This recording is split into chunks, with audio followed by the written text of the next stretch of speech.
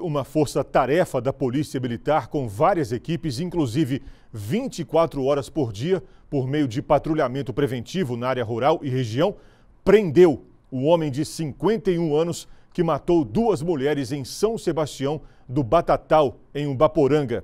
O suspeito foi encontrado no córrego Volta Grande, na cidade de Imbé de Minas. Segundo as investigações, ele atirou a queima-roupa em Maria Lúcia Gonçalves Coelho, de 58 anos, e Geralda da Costa Lourenço da Silva, de 60 anos.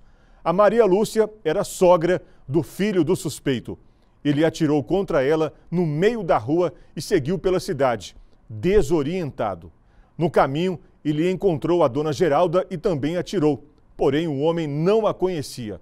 A motivação desse duplo homicídio ainda é investigada e amanhã, no Balanço Geral com Nicomete Felício, às 11h50, a atualização das informações sobre a prisão desse homem de 51 anos, suspeito de matar duas mulheres em Ubaporanga.